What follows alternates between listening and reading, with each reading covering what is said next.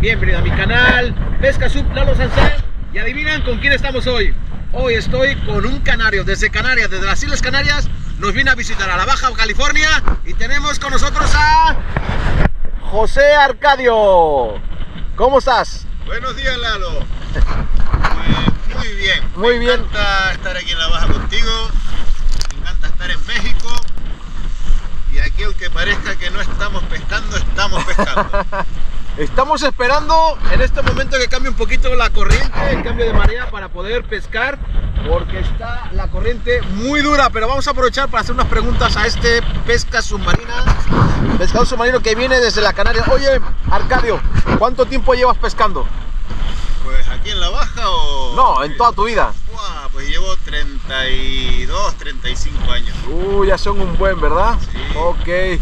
¿Siempre has pescado con, con arpón, pesca submarina? ¿También te gusta la caña? La caña también me gusta. Muy bien, muy bien. Pero la submarina es la más deportiva, la que me llena más. Muy bien. Oye, ¿a qué profundidad te gusta pescar?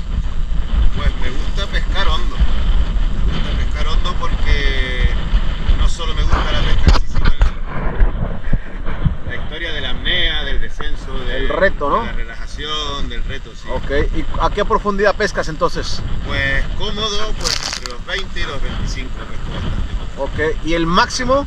¿Máxima profundidad que has pescado? El máximo pescando fue un día que me encontraba muy bien mentalmente y físicamente y estuve en los 45, 48. 45, 48, muy bien. Pero vamos.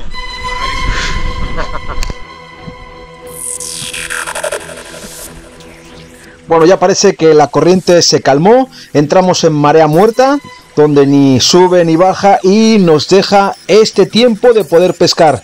Y sí, ahí aparecen las primeras palometas. No dejo pasar esta oportunidad y disparo. La intención era hacer un doblete, atravesar con la varilla en el mismo disparo a dos palometas, pero bueno, no se pudo, pero ahí sacamos una palometa. Por cierto, un pescado muy rico de sabor. A mí me gusta mucho. En estos momentos preparo otra inmersión. Me dejo caer poco a poco hasta el fondo. Es un fondo donde no conozco, es la primera vez que pesco en esta zona. Y a lo lejos veo una cabrilla de buen tamaño, pero enseguida se va. Pero un poquito más atrás descubro una sombra. Creo que es una garropa y de buen tamaño. Pego al fondo, intento deslizarme lo más sigilosamente hasta acercarme a la distancia correcta donde sé que el tiro va a ser efectivo. Un tiro frontal.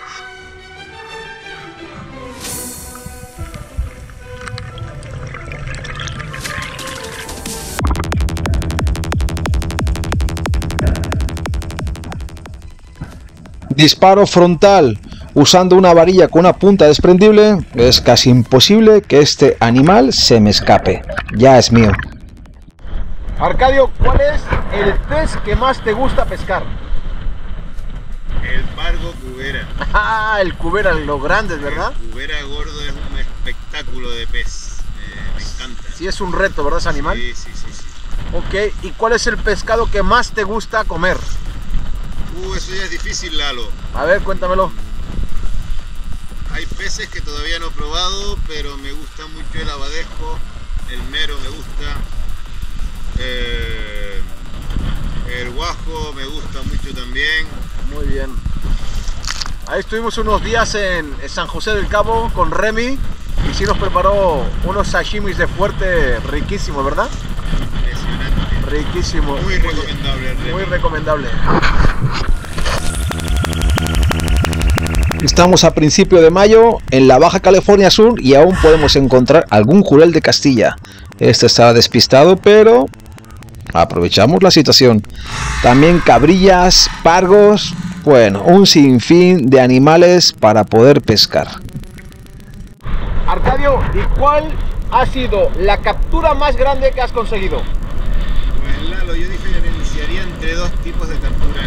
A ver. El más grande por, por el más grande de todos y el más grande de los de su especie. A ver. Entonces, el mayor que he agarrado, pues seguramente haya sido un medregal o un fuerte, como llaman aquí, ¿De cuántos kilos? pues de unos 40 y algo.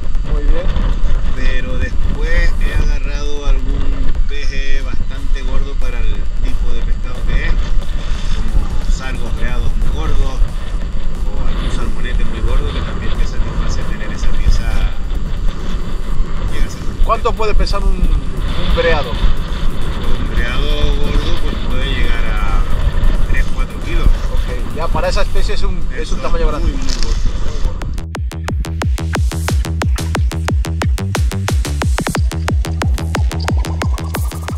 Este lance de pesca fue muy curioso. Desde la superficie observé unos pargos de buen tamaño que se enrocaron, se metieron debajo de la piedra. Y cuando me asomé vi que salió por el otro lado. Despacito, sigilosamente le disparo y acierto. Vamos para arriba con él.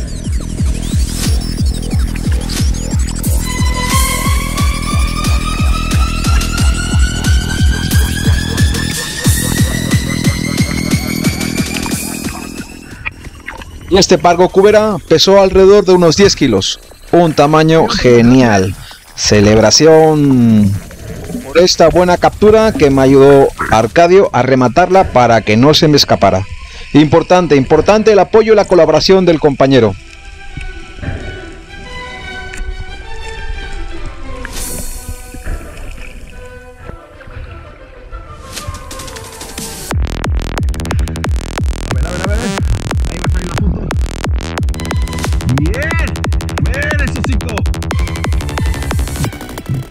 Y Arcadio parece que consigue también atrapar al hermano gemelo del primer pargo, unos 10 kilitos. En esta ocasión él lo atrapó al agujero, muy bueno, pero aquí viene el grande. Arcadio consiguió atrapar este monstruo que de un disparo certero lo dejó totalmente inmovilizado. Este animalote llegó a pesar 27 kilos. Fue la pieza más grande que se pudo capturar en esas salidas de pesca.